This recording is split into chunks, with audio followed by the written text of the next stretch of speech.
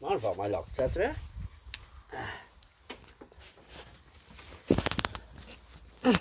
Ja da.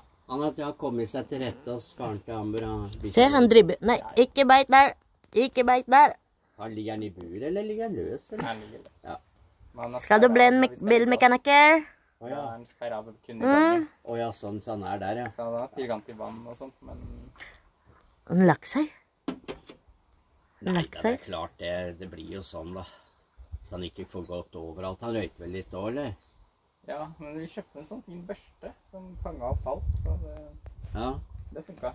gjorde det? ja? Ja. Jeg har sett de der hanskene. Har du sett de?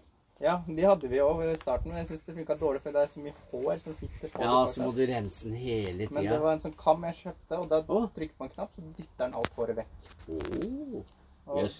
det kjøpte jeg til Ja. Lukas, da. Ja. Jeg syns det er kjempedeilig. Ja, for han har vel no Har ikke han nesten samme pels som han? Jeg tror han er litt kortere, faktisk. Det kan hende. Nå er jo han snart fullvoksen. Hei. Hvor mye veier han nå, tror du? Siste verden var 58. Nei.